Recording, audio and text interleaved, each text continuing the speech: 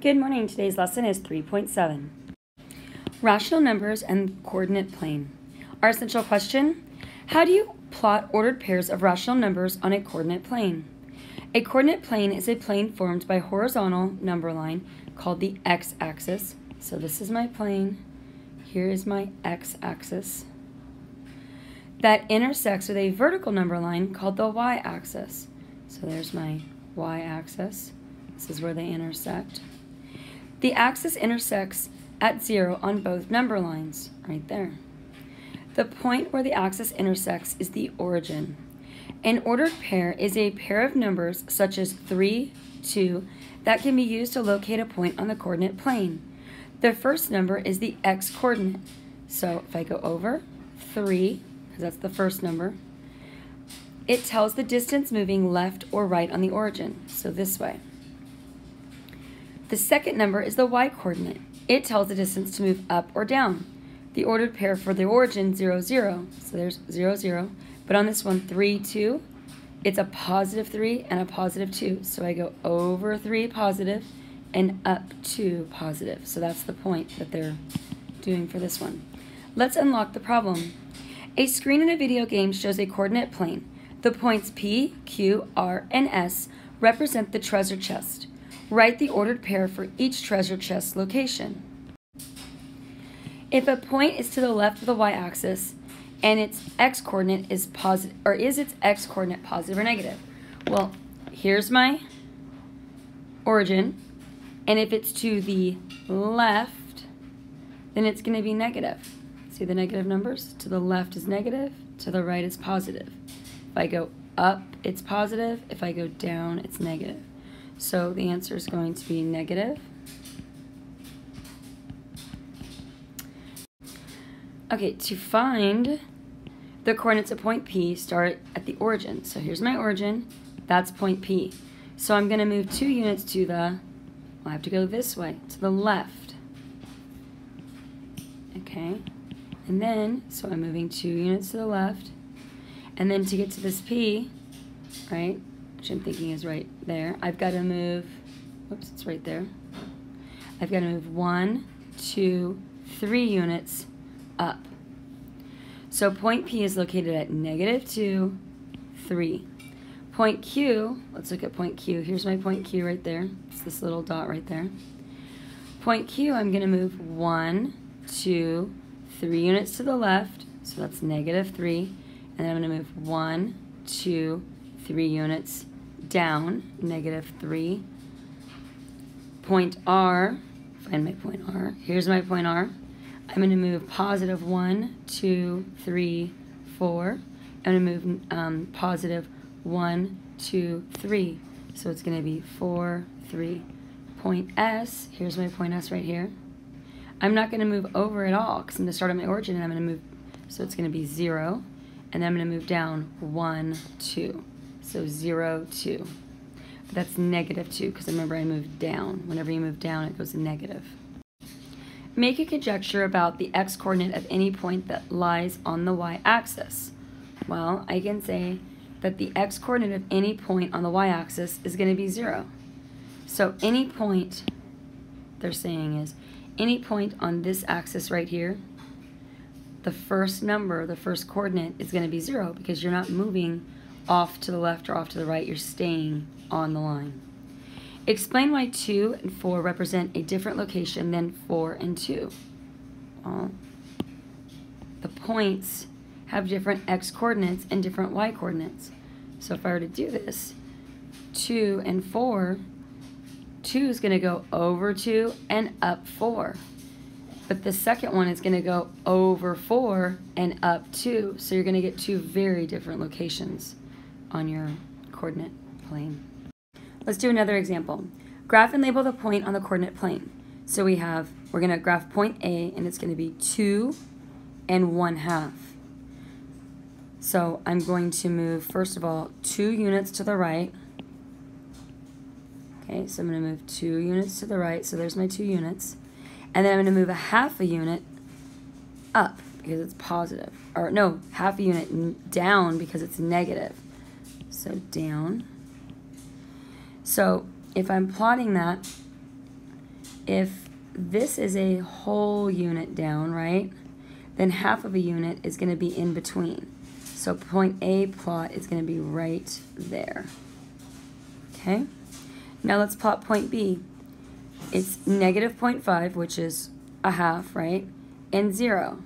So that means I'm going to, my x-coordinate is going to be negative, right? I'm just going to write neg. So that means I'm going to move 0.5 unit to the left because I'm going negative. And then the y-coordinate is 0, so the point lies on the x-axis, right? So if it's negative 0.5, remember this is 0.1, so halfway in between is going to be here. And since the second num origin number is 0, it's going to just be here. So this is going to be my point B. Plot, oh, we already plotted it. Next, we have point C. We have 2 and a half, which is positive, and 3 quarters. I'm going to make sure that I did this one right, the 2 and 1 half. So remember, you're going to move 2 and 1 half units to the right because it's positive, and that's the positive direction. And then you're going to move 3 quarters unit up because, again, it's positive. So let's make sure we do this. We've got we've got two and a half to the right. So we're going to go over 2. And then remember, they're kind of, it looks like every two of these equals 1. So that means one of these is going to equal the half. So that's going to be my um, x-axis. And then I'm going to move up 3 quarters.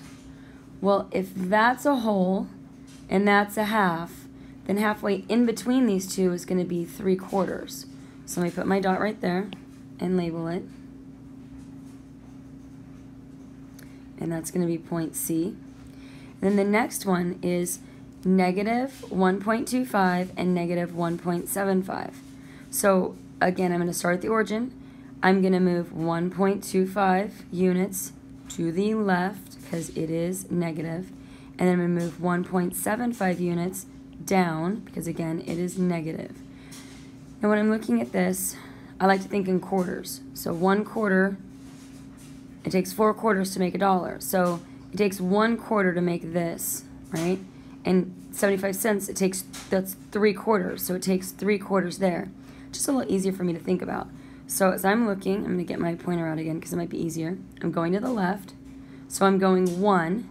And then if it's a quarter, again, between one and two, that's kind of a half. And between the half and, the, and this number here is going to be my quarter. So It's going to go right in between there, right? So 1 and 1 quarter is about here, and then I've got to go down 1 and 75. So that's 1. And again, if I'm thinking that this is a half, a quarter is going to be between the half and the whole. So my number is going to go right there. Okay, let me put that in there. All right, let's do some share and shows. Okay, so this one says, write the ordered pair for J. So now they've already plotted the points for us and they just want us to write them. So start at the origin and you're going to move. So here's my J. Now it's kind of confusing because normally you would say I'm moving one, two, three over and I'm moving one, two, three, four, five up. But if you notice, they've labeled these holes here, right? So this is actually a half. So when I'm moving to get to this J, I'm actually moving one whole and a half over. So I'm going to be moving one and a half units to the left, so it's negative. And then when I'm going this way, again, I'm moving one, because see, there's my one, and I'm moving two, so there's my two, and then remember, in between the two is going to be a half. So then I'm moving two and a half units up. So my ordered pair is going to be negative one and one half and two and one half. Let's write the order pair for the rest of these. So we have K. So here's K. K is right here. So to get there, I moved over one whole, and I move down negative one and a half, because remember it's in between. So it's going to be one, comma, negative one half. Okay, now let's look at L. L is right here. So I'm going to move over one whole, two wholes, so it's going to be negative 2, negative 2, and then I'm going to go down, there's one whole, but it's not quite to this one, right? Because that, that hole's right there, it's actually in between the half and the whole, so it's going to be 3 quarters. So it's going to be negative 1 and 3 quarters. Negative 1 and 3 quarters. Okay, let's do the M. So here's my M. Well, I'm not, I'm moving it over one whole and it's on the x-axis, so it's going to be 0. So this one's going to be 1 and 0. Okay, and looking at the answer key, um, and it doesn't really matter because I'm okay with either.